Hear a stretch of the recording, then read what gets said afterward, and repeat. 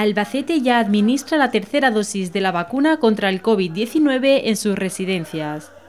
Esta mañana le ha llegado el turno a la residencia Núñez de Balboa. Allí se ha empezado a administrar la tercera dosis de la vacuna contra el coronavirus o dosis de refuerzo a todos sus residentes.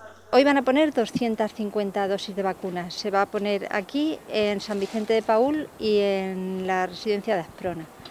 Eh, mañana bueno, van a seguir en todas las residencias, tanto públicas como privadas. Hay 3.500 personas, 3.500 mm, plazas residenciales y se irá poniendo a todas ellas en los días sucesivos. A lo largo de esta semana y posiblemente algo de la que viene se vacunará a todas las personas mayores. Edelmira ha sido la primera en recibir la tercera dosis de la vacuna en Albacete, al igual que ya sucedió el pasado 30 de diciembre cuando fue la primera en recibir la primera dosis. Habéis visto las personas, están felices, eh, se sienten más seguras con esta tercera dosis. Nosotros tenemos el 100% de, de, vacunación, todos los residentes han respondido con, mucha responsabilidad a la, vacunación y por eso estamos muy contentos y gracias a Dios pues, seguimos libres y esperamos, eh, esperamos seguir bien y no tener ningún, ningún problema de enfermedad con ellos.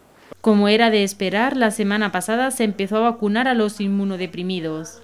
Se ha empezado ya en el hospital a vacunar, se están citando ya en los distintos hospitales, se están citando a los inmunodeprimidos y vacunando. En el día de hoy se administrarán 250 dosis tanto en Núñez de Balboa como en la residencia de Asprona y en San Vicente de Paul. En total se administrarán entre esta semana y la que viene 3.519 dosis.